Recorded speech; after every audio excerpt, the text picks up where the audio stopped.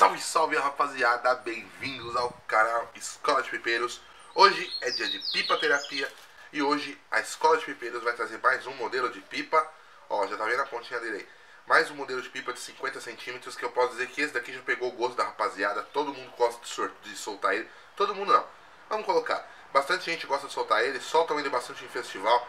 É uma pipa realmente rápida já não tem mais muito o que falar dessa pipa, mas mesmo assim a gente tem que trazer aqui, porque essa daqui vale a pena ser mostrada. Antes de a gente começar, o famoso like. Deixe seu dedo no like e no curtir. Se você é novo no canal, seja bem-vindo, se inscreva também.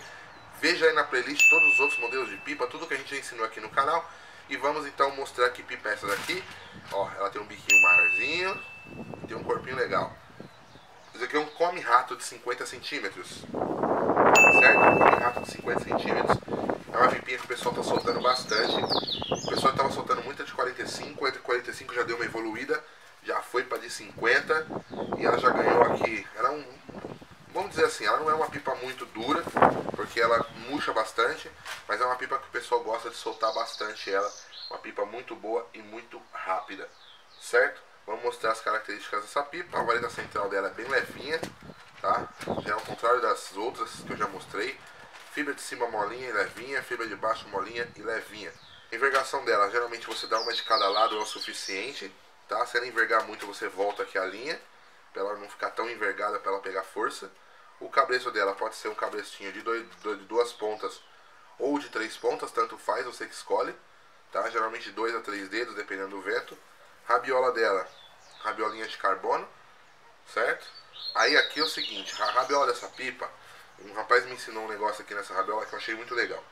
O que, que você vai fazer? Ó? Você vai contar cinco fitinhas, cinco fitinhas, tira duas. Cinco fitinhas, tira duas. Cinco fitinhas, tira duas. Tá? Se sua rabiola estiver muito espaçada, cinco fitinhas e tira uma. Cinco fitinhas, tira uma. Vai dar três sequências, na verdade. Com cinco fitinhas, tira duas, cinco fitinhas, tira duas, cinco fitinhas, tira duas. Vai dar essa sequência. Por que isso, mano? Essa rabiola, para esse pipo aqui, ela fica perfeita. É uma rabiolinha depenada, que a gente fala aí. Tá? Então um rapazinho me ensinou aí, que segue o canal, ensinou a fazer e eu fiz e deu certo. Então, essas são as características dessa pipinha aqui, come rato. Vou passar as medidas para vocês aí na sequência. Na sequência também vou mostrar no alto, as manobras dela aí, tudo certinho para vocês verem como ela é. Já, como eu já falei, muita gente já mostrou, muita gente está acostumado com essa pipa, mas não custa nada passar por aqui e trazer ela, porque é uma pipa de competição que o pessoal usa sempre. Beleza? Então tamo junto, rapaziada. Nos vemos nos próximos vídeos. Acompanha tudo aí na sequência. É pipa terapia.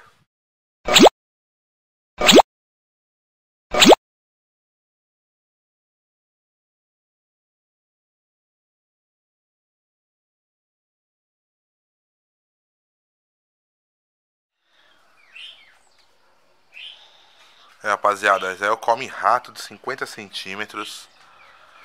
Ele tem uma característica bem legal que é a rabiola dele, mano. A rabiola dele, ela tem uns espacinhos. Cada cinco fitinhas você tira duas. Dependendo do espaço, né, que tiver entre as fitinhas.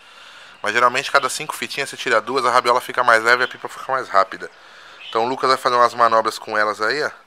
Com elas não, com ela, né? Pra gente poder ver a habilidade dessa pipa. O pessoal gosta muito dela.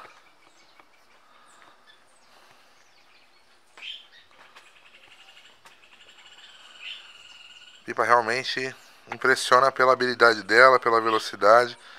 O pessoal de campeonato gosta muito dela. É uma das pipas mais soltadas aí.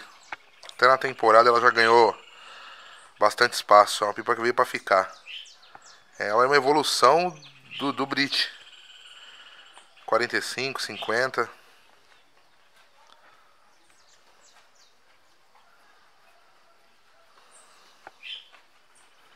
Tem um pipão ganso aí, ó.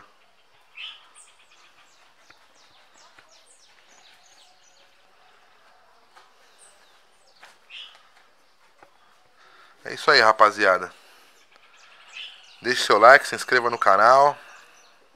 Se gostou dessa pipa, só você fazer aí, acompanhar aí e fazer ela.